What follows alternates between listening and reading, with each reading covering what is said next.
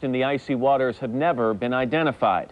Now, with the help of science, the families of some of the Titanic's victims may soon know where their ancestors are buried. NBC's Kevin Tibbles has more. For nearly 90 years, they've been resting unknown in a cemetery in Halifax, Nova Scotia. They are the 43 unidentified victims of the Titanic disaster, whose gravestones simply list them by number. But now, new hope a team of forensic scientists, with the family's permission, have exhumed three of the graves, hoping DNA can help replace those numbers with names. I'm hoping very much that we get the results, and it would be quite, quite an event if we do.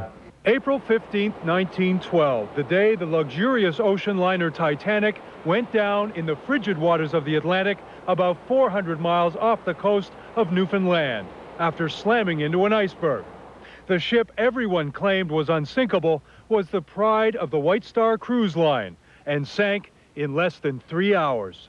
That disaster has become the stuff of legend and Hollywood blockbusters. So many watched the epic film version that Titanic became the highest grossing movie of all time.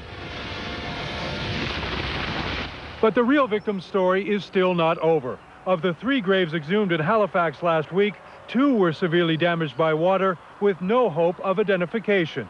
That leaves the third grave.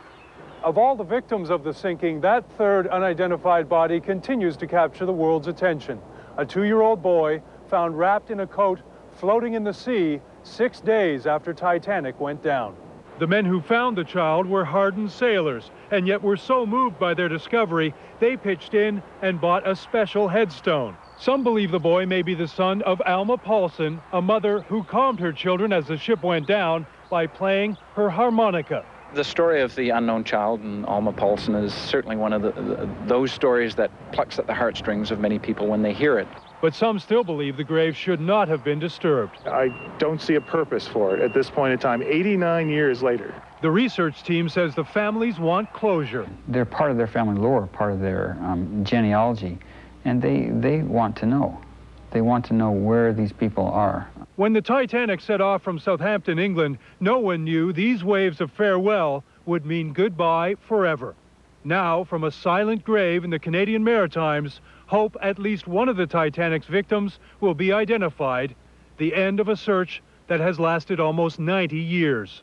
For today, Kevin Tibbles, NBC News, Chicago. And we're back with more on this Wednesday morning right after these messages.